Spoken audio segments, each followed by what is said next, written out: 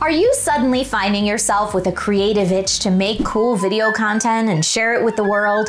Or maybe this is something you've wanted to do for a while but didn't know how to pick the hardware or software?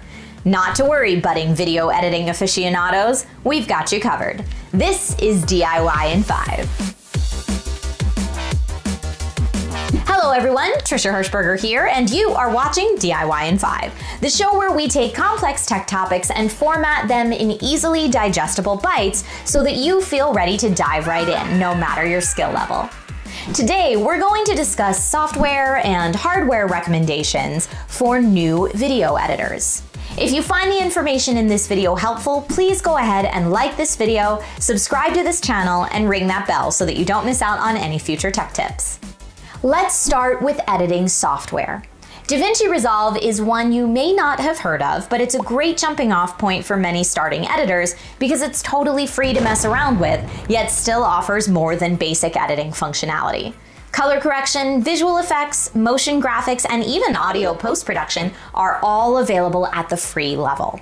The Pro version, DaVinci Resolve Studio, includes everything in the free version plus 3D tools, extra FX filters, advanced HDR grading, and more.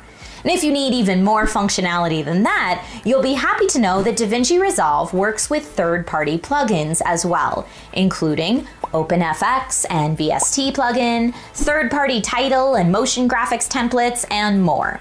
In addition to being free, DaVinci Resolve is compatible with a variety of file formats and resolutions, so you can move files to other commonly used software with ease, regardless of platform. This is incredibly helpful if you work on both Mac and PC. And speaking of Mac and PC, DaVinci Resolve is platform agnostic, requiring Windows 8.1 or later and Mac OS X Yosemite 10.10.5 or later, respectively. And unlike many of the other programs we'll discuss in this video, DaVinci Resolve relies more heavily on the GPU than CPU, so you'll want to make sure you are specced out appropriately. We'll get into hardware specifics later too. Hang tight. Another popular free editing software is HitFilm Express. It works with both Mac and PC, and it's great for beginners with color-coded tracks and a customizable workspace. It also includes unlimited audio and video tracks, a built-in audio mixer, and professional effects and features. HitFilm does offer advanced packages for more advanced users if you want things like color grading, chroma key, etc. And there's plenty of free YouTube training available. Another editing software you may want to consider is Movavi, again compatible with both Mac and PC and available in two versions, Movavi Video Editor and Movavi Video Editor Plus. Neither are free, but there is a 7-day free trial with a watermark on the videos. Womp womp.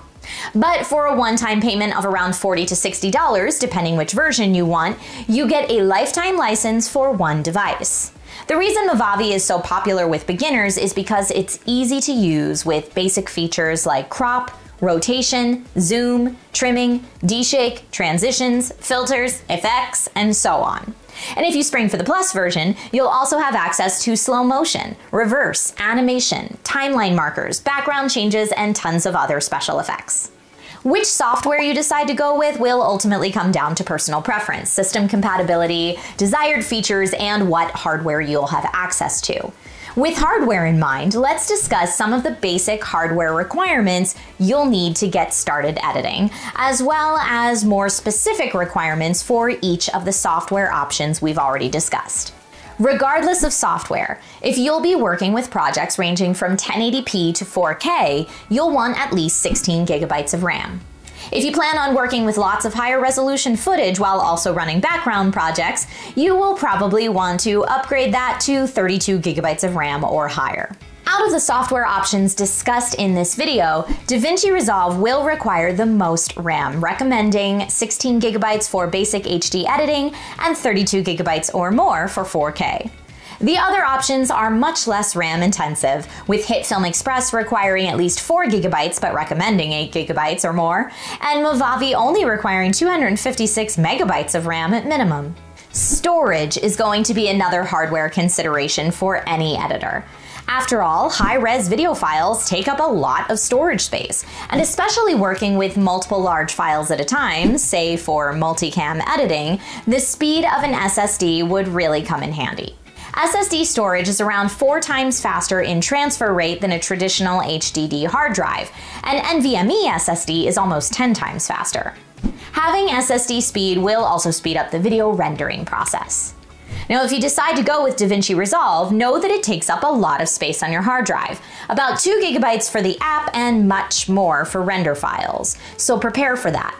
But it also works with external storage options ranging from direct attached hard drives to NAS and SAN systems, so you have options. After RAM and storage considerations, then you'll want to take a look at other components. As I mentioned earlier, DaVinci Resolve relies heavily on the GPU for rendering. You'll want a dedicated GPU with at least 4 gigabytes of GPU memory, more if you plan to use a lot of plugins. The other software options we discussed today are much less GPU intensive, with HitFilm even able to run off integrated graphics if need be.